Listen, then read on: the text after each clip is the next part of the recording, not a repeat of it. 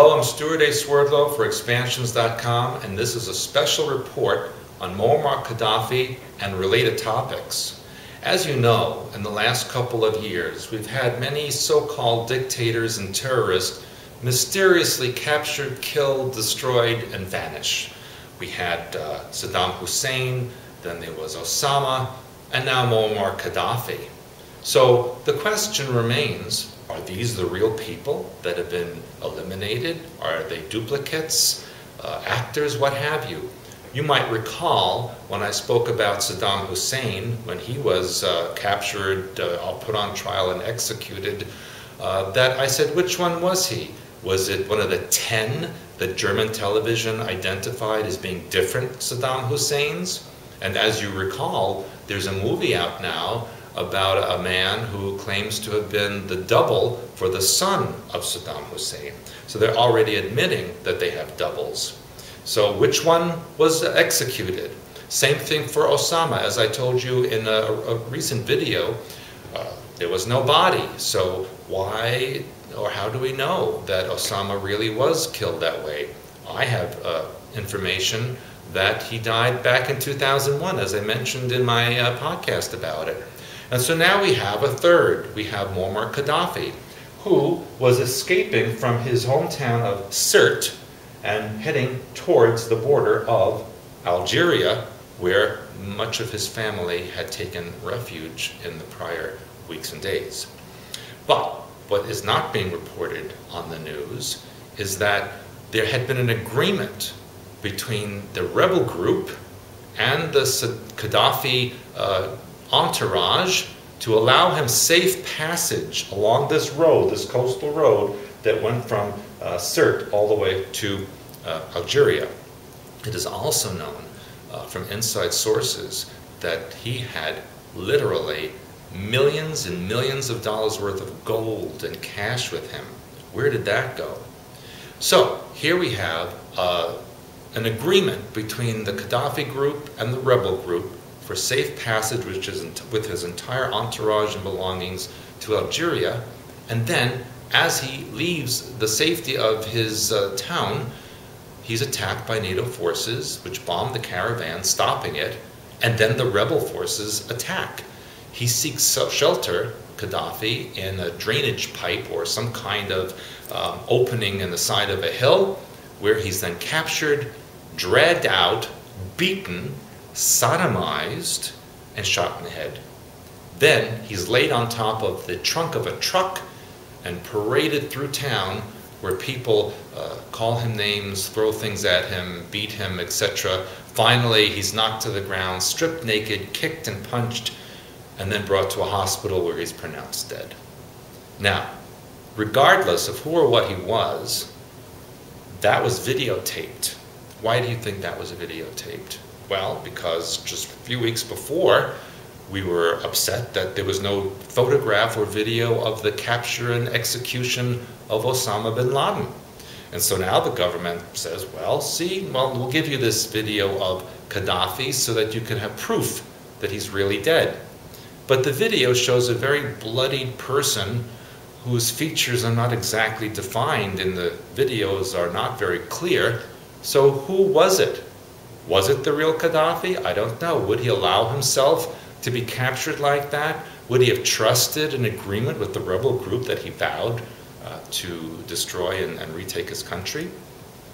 All these questions remain to be answered because they don't make any sense. It is also known from inside sources that Gaddafi was known to dress as a woman, that he was considered to be insane even by those around him and close to him, and uh, that he actually was considered by many of his countrymen to be a very good leader. Under his control, Libya developed the oil fields, people had education, um, they had uh, material things. There was not uh, really poverty in Libya at the time. So why would they rebel against this person? Yes, he was a very strict ruler, and yes, he did eliminate many of his uh, adversaries, but uh, doesn't the United States do that as well? So, uh, what actually happened to Muammar Gaddafi? The body of he and his son were placed out in a meat market freezer for people to observe to prove to them that he was really dead. Then the body was uh, sent for uh, a private uh, burial. But uh, what happened to the rest of his family? What happened to his money? Uh, what uh, did Hillary and Obama know about this agreement with the rebels and then double crossed them by bombing the caravan so that the rebels could attack? There's a lot of stories here um, and many different versions of them that have to be sifted through and analyzed. We also know that in Syria, um, uh, the president there, Assad, is just as bad, if not worse, than Gaddafi. Why are we not going after him? Well, is it because that Libya had oil that could help uh, the EU and Syria does not have oil? And is it because Syria actually has given the Russians a port uh, in the Mediterranean so that their fleet can have a place to refuel and uh, dock uh, in warm water port? What's going on with Iran? Recent reports now say that Iran does have a nuclear weapon and the capacity to deliver it to various locations in Asia and Eastern Europe. So a lot of questions again remain to be answered uh, and the media will not answer them, of course. There are many dictators in this region still. We have the leader in Yemen, who's also uh, being propped up uh, by Illuminati forces. Uh, what's going on in Iraq? Um, Iraq is actually supporting Iran, and yet we're giving millions of dollars to Iraq. The rebels in Libya, who are now taking control of the government, are known to have connections to Al Qaeda and to the Muslim Brotherhood, which are vehemently anti Israel and anti US and anti EU. So, why is it that we would support the, the elimination of a leader who had good connections to, the, to Europe and North America for a group that has vowed to destroy those places? Doesn't that uh, make you wonder what's really going on there? So we're going to see a lot more happening here in North Africa and in Central Asia, but we also need to look at South America because Venezuela, you know, the president there, Hugo Chavez, recently had cancer and he went to Cuba in order to be cured of the cancer. He came on very suddenly. He doesn't discuss what kind it was. He just says he had surgery, he had therapies to remove any remaining cancer cells and that he declares himself now to be cancer free. But we also know that the US wants him out of office. He is allowing Russia to have missile bases at the coast of Venezuela that could easily reach to the southeastern United States.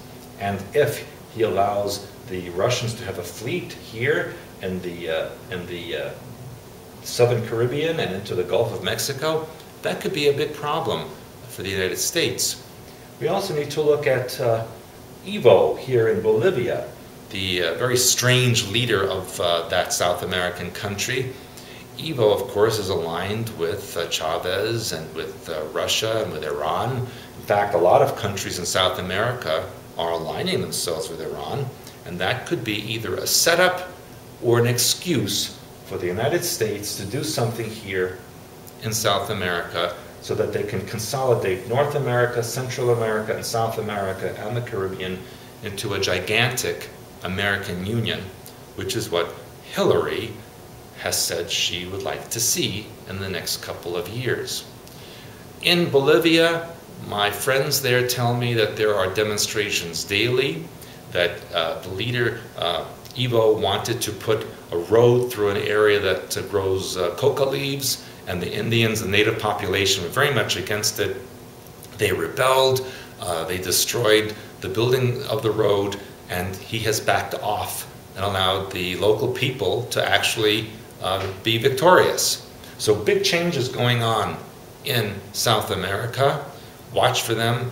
Watch for changes in Central America as well, and even in Cuba, because we're going to see political upheavals so that the governments of all of these countries realign with the United States and the EU for a new global economic unit, which, as we know recently, our very dear Pope has said he would like to see. He wants a global economic and financial system, basically a global government. And that's what the Pope has called for. So in recent times, we've seen the Vatican admit that aliens exist and they are our brothers in Christ and that they support a global government and financial system. Things are not what they seem, and the news is not telling you the entire truth. But here at Expansions, we go all over the world to tell you true information and get true world history. So join us again next time for another special podcast, and I will see you then.